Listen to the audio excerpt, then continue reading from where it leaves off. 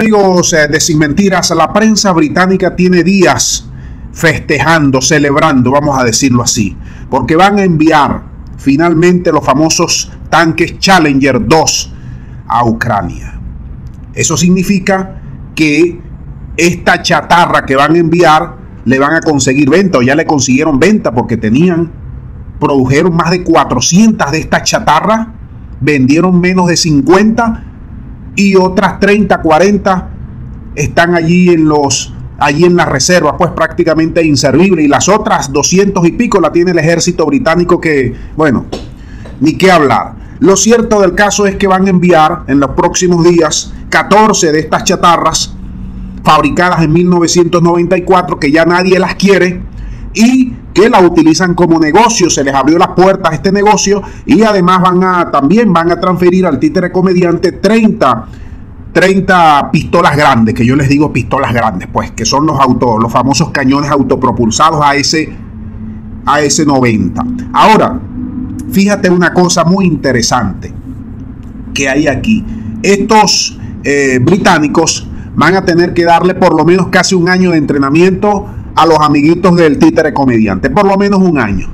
Van a tener que respaldar su logística, mandándole mecánicos y mandándole piezas, porque toda esta parte de reparaciones está en el piso, en el suelo, se los ha dejado la federación al títere comediante. Y el títere se ha comido nada más y nada menos que la bicoca de más de 2.500 tanques en estos 10, 11 meses de guerra. Más o menos más de 2.500 tanques se ha tragado el títere comediante allí en los campos de batalla. Con lo cual, esta chatarra que van a enviar el Challenger 2 es uno de los errores más grandes que cometen los británicos, más allá del negocio que están allí provocando, porque la federación los va a destruir todos. Todos.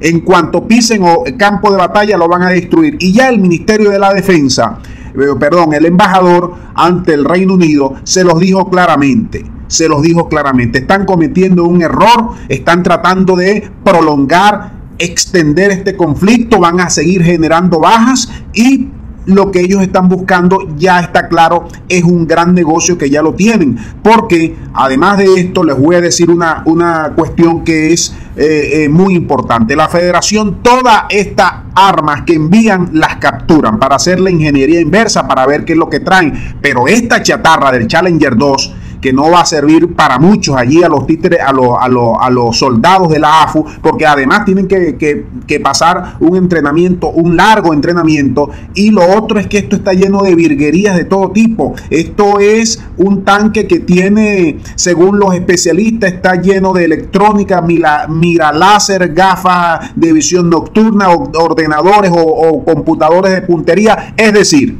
en dos platos no va a ser de mucha ayuda, pero los británicos lo están vendiendo como la, gran sensación. ¿Por qué? Porque nadie se lo compra, porque lo han probado en otros campos de batalla y no han servido. Y ahora muchos muchos de la OTAN que se les dedican, o muchos países, Alemania, Francia, británicos, turcos y todo, que se dedican a la venta de armas, no mandan sus mejores armamentos por una cuestión que es sencilla y lógica, la reputación, porque allí los rusos se los van a destruir, se los van a volver papillas y después ¿Cómo vendes tú con una reputación a cero? ¿Cómo vendes tú años de ingeniería o años de diseño, años de investigación y luego los rusos vienen y te lo, te lo vuelven papa allí en, lo, en, lo, en, los campos de entre, en los campos pues, de batalla? Con lo cual, amigos de Sin Mentiras, no se alarmen, estos Channel News no van a cambiar nada, esto es pura chatarrería barata y un negocio, un gran negocio para las empresas armamentísticas del Reino Unido. Dejamos esto hasta aquí, muchas gracias, hasta la próxima.